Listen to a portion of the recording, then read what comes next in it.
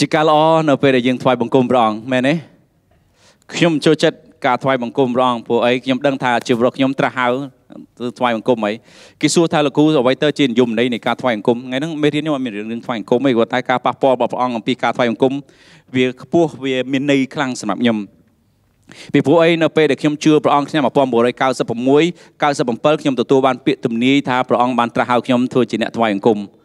ហើយមកដល់ពេលនេះ ការជឿលើព្រះសម្រាប់ខ្ញុំ គឺ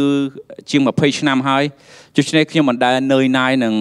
ធុញថប់ក្នុងការថ្វាយបង្គំព្រះអង្គឯលោកអ្នកបងប្អូនអរគ្នានិយាយមែនអឺការរស់នៅរបស់យើងជារៀងរាល់ថ្ងៃគឺជាការថ្វាយបង្គំព្រះអង្គការធ្វើការរបស់យើងនៅកន្លែងធ្វើការគឺជាការថ្វាយបង្គំព្រះអង្គការរៀនរបស់យើងគឺជាកន្លែងគឺជាការថ្វាយបង្គំព្រះអង្គពីព្រោះឲ្យគ្រប់អេរិយាបថគ្រប់សកម្មភាពនៃជីវិតរបស់យើងគឺជាការថ្វាយបង្គំព្រះជាម្ចាស់អាមែន មិនថាតតតែមានភ្លេងមកជុំគ្នាតមានអីចាក់បទចម្រៀងឯងបានគេហៅថាថ្វាយបង្គំ no no no no តែចាំថាការថ្វាយបង្គំគឺជាជីវិតរស់នៅរបស់យើងបាទមិនថាលោកអ្នកបងប្អូនទាំងអស់គ្នាស្ថិតនៅក្នុងកលៈទេសៈបែបណាលោកអ្នកបងប្អូនអាចចិត្តធ្វើថ្វាយបង្គំព្រះអង្គគ្រប់ពេលវេលាតាមរយៈសកម្មភាពនានាដែលលោកអ្នកបងប្អូនធ្វើអញ្ចឹងយើងត្រូវប្រយ័ត្នប្រយែងបន្តិចអំពីសកម្មភាពរបស់យើងពួកអីសកម្មភាពមួយចំនួនវាមិនបានបង្ហាញអំពីការថ្វាយបង្គំទេ ប៉ុន្តែវាទៅជាការបំផ្លាញទៅលើការថ្វាយបង្គំរបស់យើងទៅវិញក៏ប៉ុន្តែយើងអរគុណព្រះជាម្ចាស់ដែលយើងមានមគ្គទេសមួយដ៏ល្អគឺព្រះគម្ពីរជួយយើងក្នុងការដែលឲ្យយើងចេះថ្វាយបង្គំព្រះអង្គយ៉ាងល្អអេមែនអេមែនថ្ងៃនេះសូមឲ្យខ្ញុំបានចំណាយពេលជាមួយលោកអ្នកបងប្អូនបន្តិចនិយាយអំពីការត្រាស់ហៅមួយប្រភេទទៀតនៅក្នុងសម័យកាលបច្ចុប្បន្នកាលនេះលោកអ្នកបងប្អូនដឹងហើយថា ការត្រាស់ហៅរបស់ព្រះជាម្ចាស់គឺចូលមកក្នុងសហគមន៍របស់យើងការត្រាស់ហៅបែបនេះវាមានន័យសំខាន់ពីព្រោះអីក្រុមជំនុំជីវិតថ្មីកំពុងតែបង្វែរទិសដៅថ្មីមួយទៀតចូលទៅក្នុងរដូវកាលថ្មីមួយដែលលោកអ្នកបងប្អូនបានបើសិនជាចាប់អារម្មណ៍ឬមិនបានចាប់អារម្មណ៍លោកអ្នកបងប្អូននឹងឃើញ banner មួយនៅខាងក្រៅដែលនិយាយថារួមគ្នាស្ថាបនារដូវកាលថ្មីមែនទេតើស្អីស្អីជារដូវកាលថ្មី លោកអ្នកបងប្អូនពីមួយចំនួនទៅមួយចំនួនព្រះជាម្ចាស់តែងតែផ្ដល់នៅការអស្ចារ្យរបស់ព្រះអង្គតាមលក្ខណៈប្រភេទខុសៗគ្នាពីព្រោះតាំងពីខ្ញុំជឿព្រះអង្គឆ្នាំ1996រហូតមកដល់បច្ចុប្បន្នកាលនេះខ្ញុំឃើញរដូវកាលថ្មីថ្មីជាច្រើនបានកើតមានឡើងនៅក្នុងដំណាក់កាលនៃការកកើតឬក៏ដំណាក់កាលនៃក្រមជំនុំជីវិតថ្មីវាជាដំណាក់កាលដំបូងសម័យដំបូងនៃក្រមជំនុំជីវិតថ្មីចាប់ផ្ដើមកកើតឡើងក្នុងឆ្នាំ1994 ពេលនោះយើងឃើញថាអ្វីៗទាំងអស់គឺនៅថ្មីអត់សូវមានខ្មែរច្រើន មានបរទេសច្រើន បាទមានគ្រូសុថានៅទីនេះដែរតាំងឆ្នាំ94មកលយខ្ញុំខ្ញុំកូនសិស្សលោកគ្រូសុថាតាំងពីឆ្នាំ96មកលោកគ្រូគាត់បរៀនព្រះគម្ពីរខ្ញុំរៀងរាល់ថ្ងៃពុទ្ធឲ្យតែចេញពីរៀននៅសាលាបាក់ទូគឺជិះមកដល់ពហិយដល់ម៉ោងរៀនម៉ោងរៀនទៀតអញ្ចឹងនៅក្នុងរដូវកាលថ្មីនោះ យើងឃើញថាក្រុមជំនុំចិត្តថ្មីកំពុងតែនាំលោកអ្នកបងប្អូនទៅកាន់ទិសដៅថ្មីហ្នឹងហើយខ្ញុំជឿថាលោកគ្រូសាមារីគាត់នឹងខែចាប់ផ្ដើមពីខែ6ទៅគាត់នឹងជួយលោកអ្នកបងប្អូនទាំងអស់គ្នាជំមុជកាន់តែជ្រៅទៅកាន់រដូវកាលថ្មីនោះដើម្បីលោកអ្នកបងប្អូនទាំងអស់គ្នាដើរទៅឲ្យទៅជាមួយគ្នាបើសិនជាសាបាលោកគ្រូគាត់នាំផ្លូវយើងទៅបាត់ហើយយើងនៅកន្លែងតែបែកឆ្វេងបែកស្ដាំនោះយើងអត់ដឹងថា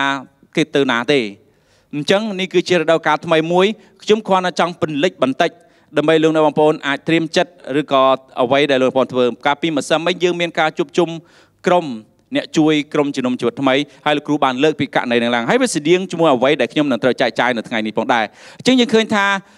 តើក្រុមជំនុំជីវិតថ្មីគឺជាអ្វីជាសំណួរលោកអ្នកបងប្អូនអរគ្នាសិតសឹងតែជាសមាជិកក្រុមជំនុំជីវិតថ្មីរាប់ខ្លួនឯងថាជាក្រុមជំនុំជីវិតថ្មីជាជា ជាគ្រួសារក្រុមជំនុំជាតិថ្មីជាចំណែកមួយក្រុមជំនុំជាតិថ្មីលោកអ្នកបានចូលរួមចំណែកបម្រើទាំងអស់តើក្រុមជំនុំជាតិថ្មី គឺជាអ្វីមកដល់ពេលដំណាក់កាលនេះក្រុមជំនុំជាតិថ្មី គឺជាសហគមន៍នៃគ្រួសារនេះគឺជាអ្វីដែលយើងកំពុងតែបង្វែរលោកអ្នកនាំលោកអ្នកទៅកាន់ទិសដៅមួយនេះដើម្បីឲ្យដឹងថាជាសហគមន៍គ្រួសារសម្រាប់អ្នកជឿព្រះយេស៊ូវគ្រីស្ទនៅឯណានៅក្នុងក្រុមជំនុំណាមួយ នៃគ្រួសាររបស់ក្រុមជំនុំជីវិតថ្មីលោកអ្នកបងប្អូនទាំងអស់គ្នាលោកអ្នកបងប្អូនដឹងថាតើក្រុមជំនុំជីវិតថ្មី មានក្រុមជំនុំប្រមាណនៅកន្លែងណាខ្លះមកដល់បច្ចុប្បន្នកាលនេះយើងបានដាំក្រុមជំនុំជីវិតថ្មីនៅទូទាំងប្រទេសកម្ពុជាចំនួន17ខេត្តត្រូវលោកក្រុងបាទហើយមានក្រុមជំនុំជាង300ណាបាទជាង300កន្លែង ដែលកំពុងតែដំណើរការយ៉ាងស្រស់ស្រាយស្រាំហើយយើងឃើញថាក្រុមជំនុំជីវិតថ្មី តាំងពីឆ្នាំ1994មកដល់ពេលបច្ចុប្បន្នកាលនេះ300ក្រុមជំនុំខ្ញុំគិតថាសរសើរព្រះអង្គខ្ញុំនៅពេលដែលខ្ញុំនិយាយប្រាប់គេគេថាគេអត់ជឿគេថាចុំក្រុមជំនុំអីក៏លូតលាស់លឿនម៉េះហេតុអីបានជាអ្នកអាចអាចធ្វើបានខ្ញុំថាអេពួកខ្ញុំមិនធ្វើបានណាគឺព្រះតើអាចធ្វើបានពីព្រោះតាមរយៈលោកអ្នកបងប្អូនអស់គ្នា អាចអនុញ្ញាតឲ្យកិច្ចការទាំងអស់នេះទៅរួចពីព្រោះយើងគឺជាសហគមន៍នៃក្រុមគ្រួសារមួយ ដែលក្រុមជំនុំចិត្តថ្មីម្នាក់ម្នាក់គឺជាចំណែកមួយដែលជួយឲ្យគ្រួសារនៃក្រុមជំនុំចិត្តថ្មីនេះកាន់តែរីកធំទៅធំទៅពីព្រោះអីតើចាំថាគ្រួសារកាន់តែធំ ការគ្រប់គ្រងវាក៏មិនស្រួលដែរដូច្នេះហើយសូមនឹកចាំអធិដ្ឋានដល់ថ្នាក់ដឹកនាំក្រុមជំនុំផងទាំងក្រុមជំនុំក្នុងទីក្រុងនិងក្រុមជំនុំនៅតាមបណ្ដាខេត្តពីព្រោះការដែលដឹកនាំក្រុមជំនុំចាត់ចែងមើលការខុសត្រូវក្រុមជំនុំវាមិនងាយស្រួលទេ យ៉ាងណាមិញក្រុមជំនុំជីវិតថ្មីជាសហគមន៍នៃគ្រួសារដែលព្រោះតែយើង គឺជាកូនស្ងួនភ្ងារបស់ព្រះជាម្ចាស់ហើយយើងជួយគ្នារីកចម្រើនទៅដើម្បីឲ្យយើងទាំងអស់គ្នាអាចពឹងពាក់លើគ្នាទៅវិញទៅមកនេះគឺជាអ្វីដែលជាចំណែកនៃសហគមន៍គ្រួសារតើយើងមានអ្វីខ្លះទៀតនៅក្នុងសហគមន៍គ្រួសារនេះពីព្រោះយើងដឹងថាតើអ្វីទៅគឺជាគុណតម្លៃស្នូលរបស់ក្រុមគ្រួសារនៃក្រុមជំនុំជីវិតថ្មីយើងមានគុណតម្លៃស្នូល ដែលយើងថាគុណតម្លៃស្នូលរបស់យើងមាន3នៅក្នុងនោះដែលយើងខ្ញុំសង្ខេបខ្លីៗឲ្យលោកអ្នកបងប្អូនអរគ្នា ទី1គឺសេចក្តីស្រឡាញ់ដ៏បរិបូរណ៍ហូរហៀនេះគឺជាលក្ខណៈរបស់ក្រុមជំនុំជីវិតថ្មីក្នុងពេលបច្ចុប្បន្នកាលនេះដែលយើងចង់នាំលោកអ្នកបងប្អូនឲ្យមានសេចក្តីស្រឡាញ់យ៉ាងពេញពោបរិបូរណ៍ហូរហៀព្រោះអីព្រះជាម្ចាស់បានត្រាស់ឲ្យយើងឲ្យខ្លាចទៅជាក្រុមមនុស្សដែលមានសេចក្តីស្រឡាញ់យ៉ាងច្រើនបរិបូរណ៍ហូរហៀ ក្នុងក្នុងនាមយើងជាសហគមន៍នៃគ្រួសារយើងចង់បង្ហាញសេចក្តីស្រឡាញ់នេះទៅដែលអត់លក្ខខណ្ឌនេះទៅកាន់មនុស្សដទៃទៀតដែលនៅជុំវិញខ្លួនយើង ទៅក្នុងសហគមន៍របស់យើង ហើយទៅកាន់សង្គមជាតិរបស់យើងផងដែរទី2គឺព្រះវត្តមានរបស់ព្រះជាម្ចាស់ការរស់នៅក្នុងព្រះវត្តមានរបស់ព្រះជាម្ចាស់បើគេសួរថាតើអ្នកមកពីពហិណាយើងថាយើងខ្ញុំមកពីក្រុមជំនុំចិត្តថ្មី គេនឹងឆ្លើយថាក្រុមជំនុំចិត្តថ្មីបកកែថ្វាយអង្គមបកកែចូលក្នុងប្រវត្តិមានព្រះជាម្ចាស់នេះហើយគឺជាគេឈ្មោះមួយរបស់ក្រុមជំនុំជុតថ្មីដែលព្រះជាម្ចាស់បានដាក់ដោយសារតែភាពនេះទើបយើងយកមកជាតម្លៃស្នូលរបស់យើងយ៉ាងសំខាន់ព្រះវត្តមានរបស់ព្រះជាម្ចាស់ជាអតិភិបសំខាន់សម្រាប់ក្រុមជំនុំជីវិតថ្មីប្រសិនបើយើងធ្វើអ្វីមួយដែលมันបានមានព្រះវត្តមានរបស់ព្រះជាម្ចាស់យើងនៅអត់ស្កប់ទេយើងនៅរហូតតតែការចាក់បង្ហូរនៃព្រះវិញ្ញាណដ៏ពិសិដ្ឋ នឹងជួយយើងឲ្យយើងបានស្ដារឡើងវិញ ជួយឲ្យយើងបានស្រស់ស្រាយឡើងវិញ ជួយឲ្យយើងបានរីកធំធាត់ឡើងវិញថែមទៀតសង្ខេបខ្លីៗអំពីចំណុចហ្នឹងទី3ដែលយើងជាបុព្វហេតុរបស់យើង គឺយើងចង់បង្ហាញថា ក្រុមជំនុំជីវិតថ្មីជាសហគមន៍នៃគ្រួសារដែលមានសេចក្តីស្រឡាញ់ដល់បរិបូរហោហៀដើម្បីឲ្យមនុស្សចូលទៅក្នុងប្រវត្តិមានព្រះជាម្ចាស់នេះជាចំណែកទាំងពីរនេះដែលជាចំណុចសំខាន់ សម្រាប់យើងប៉ុន្តែនៅក្នុងនោះផងដែរលោកអ្នកបងប្អូនអរគ្នាវាទីមទាឲ្យយើងមានរបៀបរស់នៅក្នុងការដែលឲ្យមានចំណុចទាំងពីរនេះសេចក្តីស្រឡាញ់ហើយនឹងប្រវត្តិមានព្រះជាម្ចាស់នៅក្នុងជីវិតរបស់យើងជាងបុព្វហេតុដែលយើងអាចរស់នៅបាន គឺយើងរស់នៅ ដើម្បីថ្វាយសេរីរុងរឿងរបស់ព្រះជាម្ចាស់ដែលព្រះជាម្ចាស់បានត្រាស់ហៅយើងមកគ្រប់ទាំងសេរីល្អទាំងអស់ជារបស់ព្រះអង្គមិនមែនជារបស់បុគ្គលណាមួយ ក្រុមជំនុំរីកចម្រើនមួយមិនមែនដោយសារតែលោកគ្រូក្រមក៏ខំប្រឹងទេឬក៏លោកគ្រូសាមឌីខំប្រឹងទេប៉ុន្តែជាសេរីរុងរឿងរបស់ព្រះជាម្ចាស់បានអនុញ្ញាតឲ្យយើងនាំនៅមនុស្សជាច្រើនថ្វាយទៅកាន់ព្រះអង្គហើយយើងរស់នៅជាទីបន្ទាល់សម្រាប់មនុស្សដែលនៅជុំវិញខ្លួនយើងមិនថាអ្នកដែលនៅឆ្ងាយពីយើងទេអ្នកនៅចិត្តបំផុតរបស់យើងក៏ក៏យើងរស់នៅជាទីបន្ទាល់សម្រាប់ជីវិតរបស់ពួកគេទេពួកគេដែរហើយយើងរស់នៅដើម្បីឲ្យជា អ្នកដែលពហុគុណមានន័យថាយើងរីកចម្រើន ជួយអ្នកដទៃទៀតរីកចម្រើនចែករំលែកទៅកាន់អ្នកដទៃទៀតនាំអ្នកដទៃទៀតឲ្យជឿលើព្រះជាម្ចាស់ខ្ញុំគ្រាន់តែសង្ខេបចំណុចទាំងអស់ហ្នឹងដើម្បីនាំលោកអ្នកបងប្អូនចូលទៅកាន់ចំណុចមេរៀនមួយរបស់ខ្ញុំដែលការរស់នៅក្នុងសហគមន៍ដែលជាការត្រាស់ហៅរបស់ព្រះជាម្ចាស់នៅក្នុងជីវិតរបស់យើងថ្ងៃនេះខ្ញុំចង់អានអត្ថបទគម្ពីររ៉ូមជំពូកទី12 នៅពេលដែលយើងអានអំពីអត្ថបទគម្ពីររ៉ូមជំពូកទី12យើងនឹងឃើញថាលោកសាវកប៉ូលបានអប់រំទូមាន ដល់គ្រឹះបរិស័ទដំបងដំបងឲ្យចេះអំពីរបៀបដែលរស់នៅ នៅក្នុងសហគមន៍ហើយសហគមន៍នេះខ្ញុំបែងចែកជាពីរទៀតគឺសហគមន៍គ្រឹះបរិស័ទជាអ្នកជឿនិងសហគមន៍មិនមែនជាអ្នកជឿក៏ប៉ុន្តែមុននឹងចូលដល់អត្ថបទគម្ពីររ៉ូមនេះខ្ញុំចង់ប្រាប់ប្រវត្តិខ្លីៗអំពី រ៉ូមអំពីកាន់គម្ពីររ៉ូមលោកសិវៈពោបានសរសេរអត្ថបទគម្ពីររ៉ូមនេះឡើង នៅក្នុងអឺគ្រិស្តសករាជឆ្នាំទី57នៅពេលដែលលោកកំពុងតែធ្វើដំណើរនៅក្នុងបេសកកម្មទី3របស់លោក ធ្វើដំណើរបែកជុំវិញតំបន់អាស៊ីឬក៏ចូលទៅកាន់អឺរ៉ុបហ្នឹងហើយលោកសាវកពោបានសរសេរអត្ថបទសម្បត្តិទៅកាន់ទីក្រុងរ៉ូមនេះ នៅពេលដែលលោកធ្វើដំណើរហើយនៅក្នុងទីក្រុងកូរិន ទីក្រុងកូរិនថូសបាទទីក្រុងកូរិនថូសបច្ចុប្បន្នកាលនៅណាទូគីណាបាទនៅទូគីបាទក្នុងពេលបច្ចុប្បន្នកាលនេះនៅនៅប្រទេសទូគីបាទដូច្នេះសម្បត្តិនេះគឺផ្ញើតាមគ្រឹះបរិស័ទដែលគេធ្វើដំណើរទៅទីក្រុងរ៉ូមដើម្បីនឹងដាស់តឿនដល់អ្នកជឿនៅទីនោះអញ្ចឹងសម្បត្តិនេះក៏បានមកក្នុងជីវិតរបស់យើងដូចគ្នាផងដែរអញ្ចឹងយើងនឹងអានរ៉ូមចំពុកទី12ខ 9ដល់13ខ្ញុំស្រឡាញ់ខកំពីនេះពីព្រោះអីសំខាន់ក៏ចាប់ផ្ដើមមកព្រឹបក្នុងខទី9ចូលមានចិត្តស្រឡាញ់សូមនិយាយគ្នាទៅវិញទៅមកចូលមានចិត្តស្រឡាញ់អាមែនគាត់ណាចាប់ផ្ដើមខកពីមកព្រឹបអូរំភើបចូលមានចិត្តស្រឡាញ់ដល់ពេលឃ្លៀបន្ទាប់ដោយឥតលាក់ពុតឡើយ អីក្តីស្រឡាញ់មានមានពុតនិងក្តីស្រឡាញ់ឥតលាក់ពុតហើយបានលោកលោកលោកសិវៈពោបានសរសេរអំពីអត្ថបទកពីនេះឡើងអញ្ចឹងបន្តទៀតចូលស្អប់ខ្ពើមអ្វីអ្វីដែលអាក្រក់ហើយជាប់ចិត្តតែនឹងអ្វីអ្វីដែលល្អវិញខទី10បានប្រាប់ថាចូលស្រឡាញ់រាប់អានគ្នាទៅវិញទៅមកទុកដូចជាបងប្អូនបង្កើតត្រូវលើកកិត្តិយសគ្នាទៅវិញទៅមកដោយចិត្តគោរព លោកស្វៈពោសរសេរខកម្ពីអត្ថបទកម្ពីនេះឡើង គឺទៅកាន់គ្រិស្តបរិស័ទ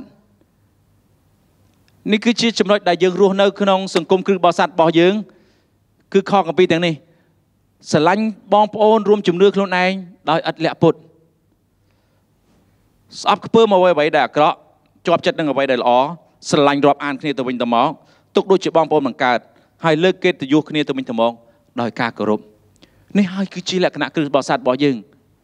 ពីព្រោះអីព្រះអង្គបានត្រាស់ហៅយើងមកដើម្បីឲ្យយើងរស់នៅជាអំបិលនិងជាពន្លឺ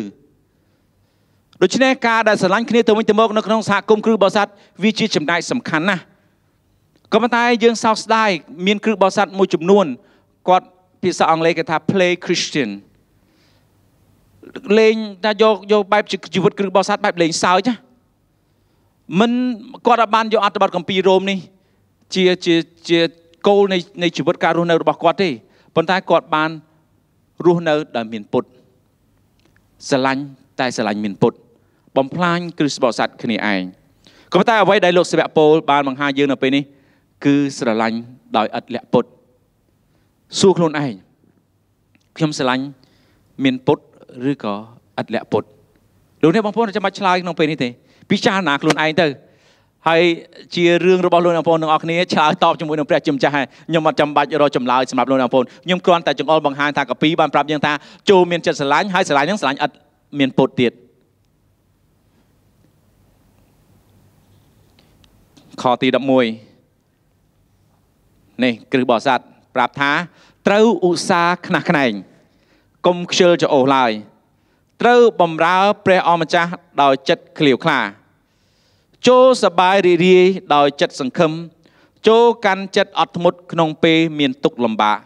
ចូលព្យាយាមអធិដ្ឋានលោកបងប្អូនអរគ្នាក្នុងខទី11 12នេះខ្ញុំគ្រាន់តែចង់រំលឹកដាស់តឿនលោកបងប្អូនថាធ្វើជាជីវិតជាគ្រឹះបរិស័ទណាមិនសបាយរហូតទេមិនគាត់ឃើញលោកគ្រូវិសិទ្ធលើឆាកឃើញសបាយរហូតលោកអ្នកបងប្អូនទាំងអស់គ្នាអត់ដែលឃើញខ្ញុំកើតទុកទេតែខ្ញុំកើតទុកក៏មិនសូវចេញ drama នៅលើ Facebook អីដែរ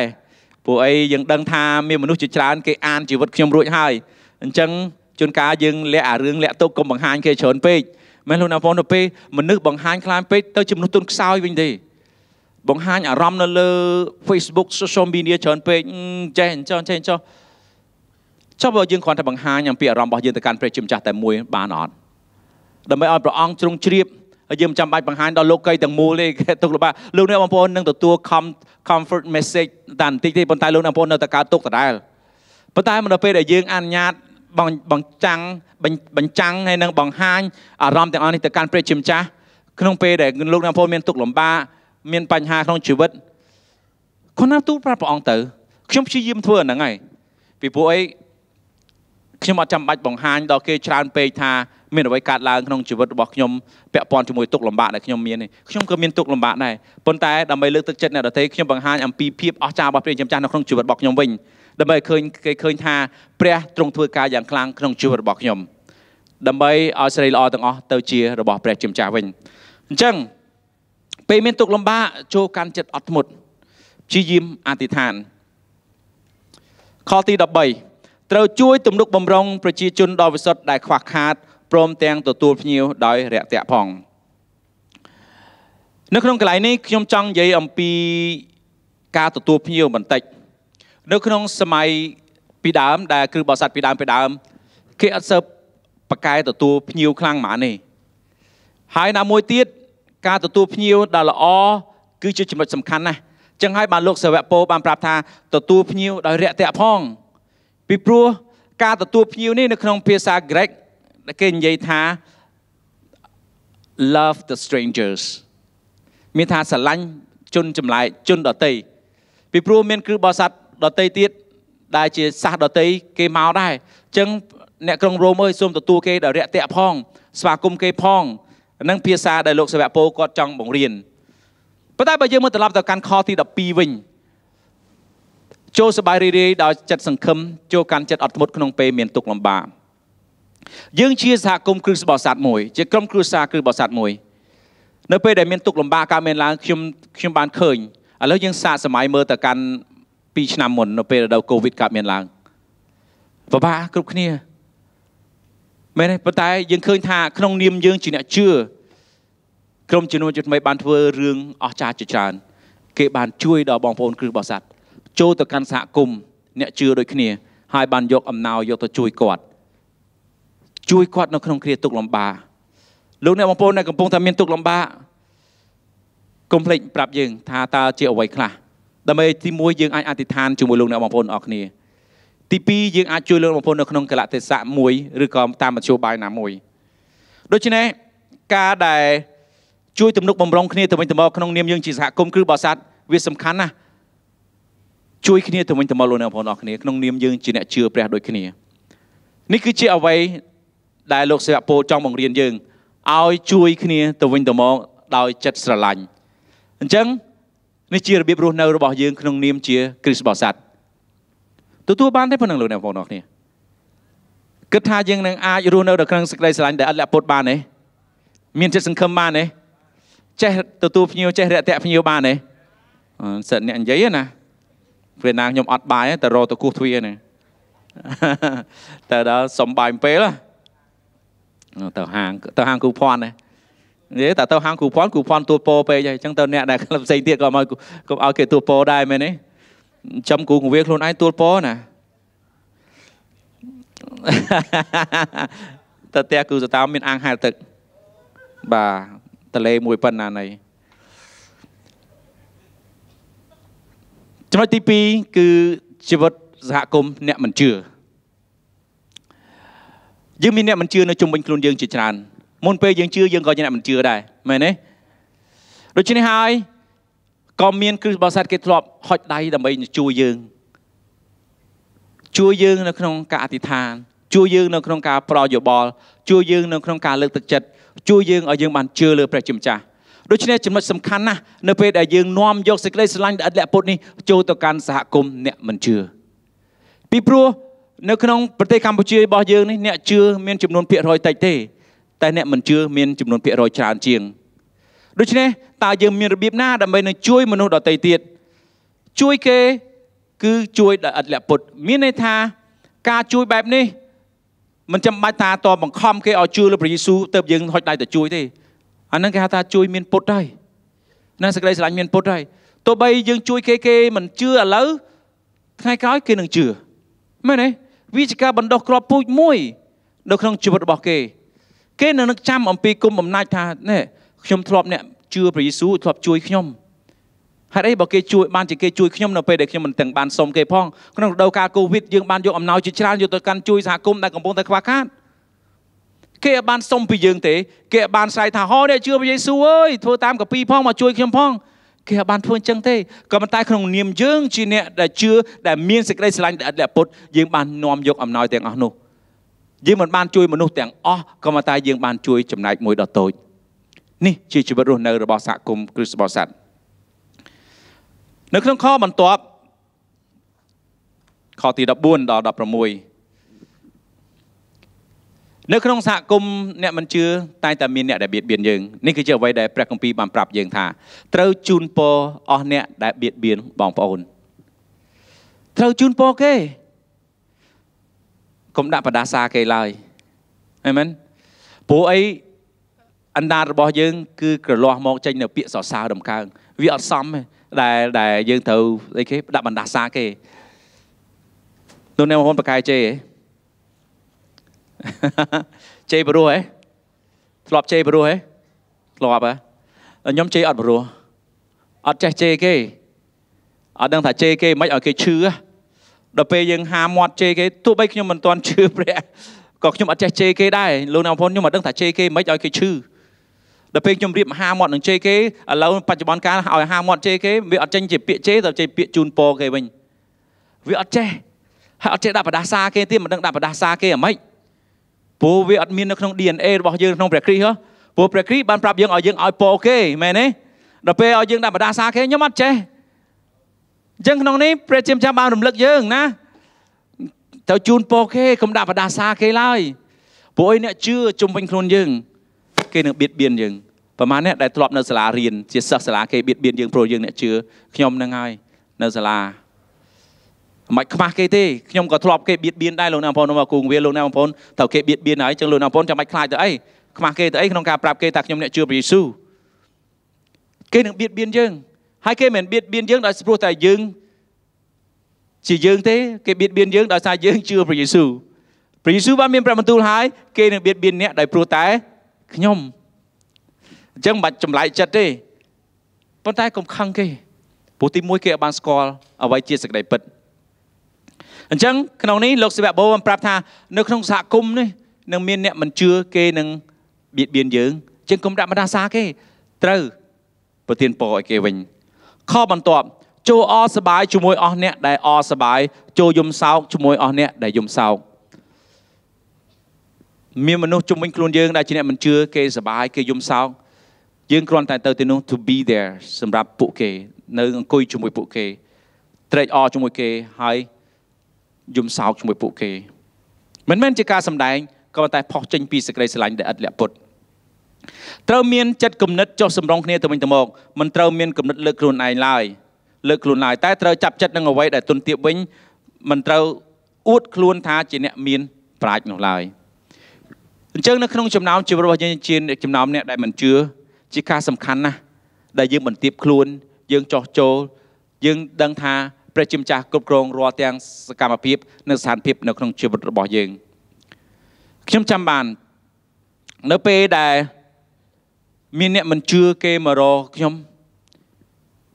នៅពេលដែលខ្ញុំនិយាយទៅកាន់គេការសន្ទនាបានចាប់ផ្ដើមកើតមានឡើងគេចាប់ផ្ដើមឆ្ងល់គេថាហេតុអីលោកគូនិយាយពាក្យសម្ដីបែបផ្សេងខ្ញុំចង់បែបផ្សេងហ្នឹងចង់មានន័យថាម៉េចអត់ទេរបៀបដែលលោកគ្រូនិយាយ ពេញទៅដោយការលើកទឹកចិត្តធ្វើឲ្យខ្ញុំទោះបីខ្ញុំពិបាកចិត្តមកជួបលោកគ្រូគ្រាន់តែលោកគ្រូនិយាយមួយម៉ាត់ពីរម៉ាត់ខ្ញុំទទួលការលើកទឹកចិត្តតើហេតុអី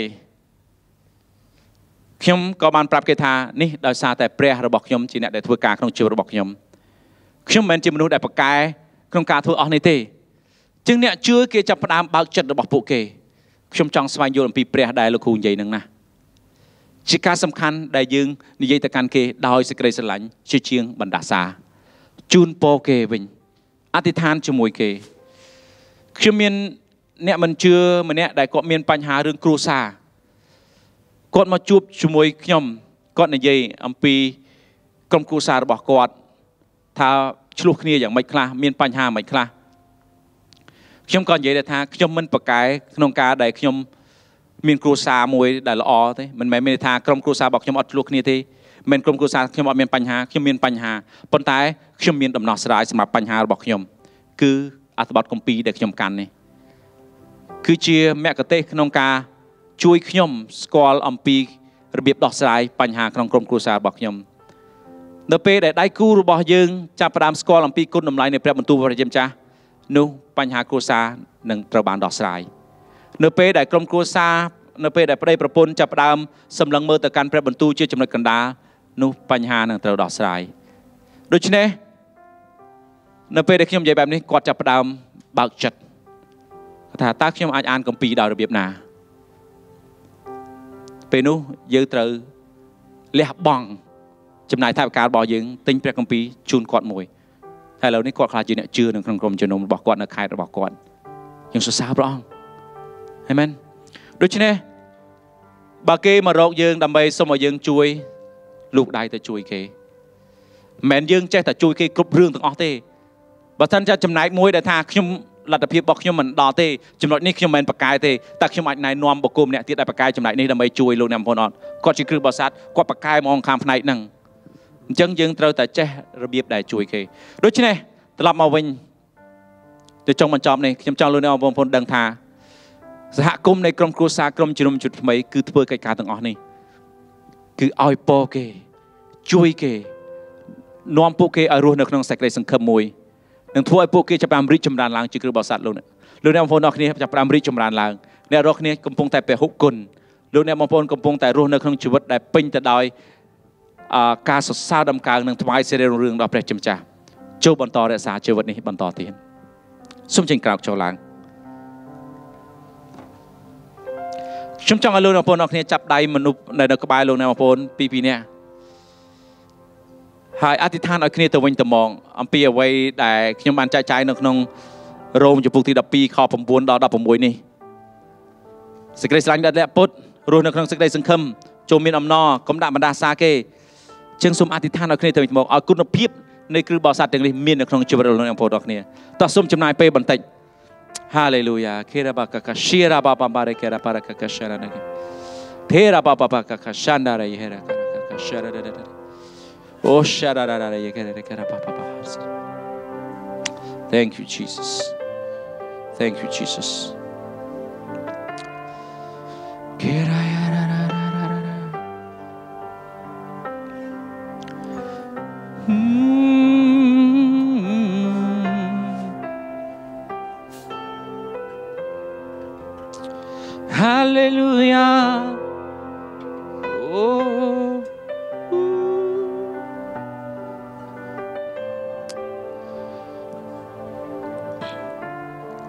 ព្រះអង្គយើងខ្ញុំត្រូវការកម្លាំងសាជាថ្មីពីព្រះអង្គ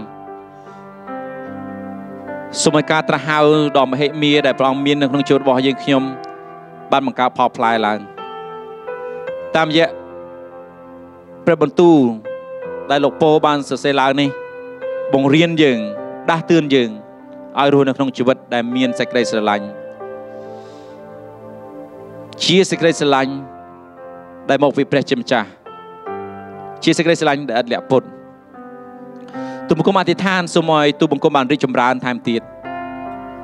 ក្នុងការជួយមនុស្សដែលនៅក្នុងសហគមន៍របស់ទូបង្គំការរស់នៅដែលប្រកបទៅដោយព្រះពររបស់ព្រះអង្គការរស់នៅប្រកបដោយការចាប់បង្ហូរនៃព្រះវិញ្ញាណដ៏វិសុទ្ធដើម្បីទូបង្គំយើងខ្ញុំរស់នៅជាទីបន្ទាល់ហើយជីវិតរបស់យើងខ្ញុំថ្វាយសេរីរុងរឿងទៅកាន់ព្រះអង្គទូបង្គំអរព្រគុណព្រះអង្គដែលយើងខ្ញុំអាច មានឱកាសជឿលើព្រះអង្គហើយយើងខ្ញុំក៏ចង់ជួយសហគមន៍របស់ទូបង្គំផ្ទះទូបង្គំទីក្រុងទូបង្គំមកចាប់ផ្ដើមជឿព្រះអង្គថែមទៀតផងដែរទូបង្គំសូមថ្វាយព្រះបន្ទូលថ្ងៃនេះហើយព្រះបន្ទូលនេះពហុគុណនៅក្នុងជីវិតរបស់ទូបង្គំដែលនៅក្នុងព្រះនាមព្រះយេស៊ូវគ្រីស្ទ